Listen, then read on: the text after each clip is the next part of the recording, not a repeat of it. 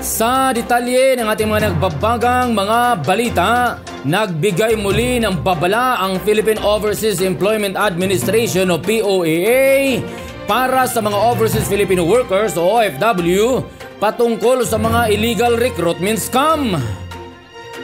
Ito ay matapos na patuloy na makaabot sa kanilang tanggapan ang maraming ulat ukol sa mga Pilipino na nagnanais magtrabaho sa ibang bansa ang nabibiktima ng human trafficking.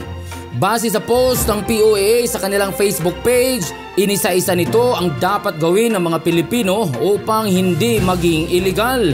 Ayon sa ahensya, kinakailangang siguraduhin ng mga OFW na tama at totoo ang lahat ng mga dokumento na daladala sa pag-a-abroad. Sinabi rin ito na ang mga tourist to work scheme o ang pagtratrabaho sa ibang bansa na gamit ang tourist visa ay mahigpit na ipinagbabawal ng ahensya. Ipinaalala rin ng POAA sa publiko na ang sinumang mahuhuli na gumagamit ng peking dokumento tulad ng passport, visa, OAC at iba pa ay maaaring makulong o maparusahan sa Pilipinas o maging sa bansang pinatutunguhan. Sa kabilang banda, pinag-iingat rin ng ahensya ang publiko laban sa mga namimiki ng mga dokumento.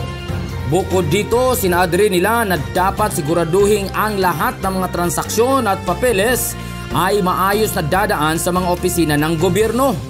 Inaabisuhan rin ng POA ang mga Pilipino na kinakailangang kumuha ang mga ito ng Overseas Employment Documents tulad ng Working Visa at Overseas Employment Certificate o OAC mula sa kanilang tanggapan.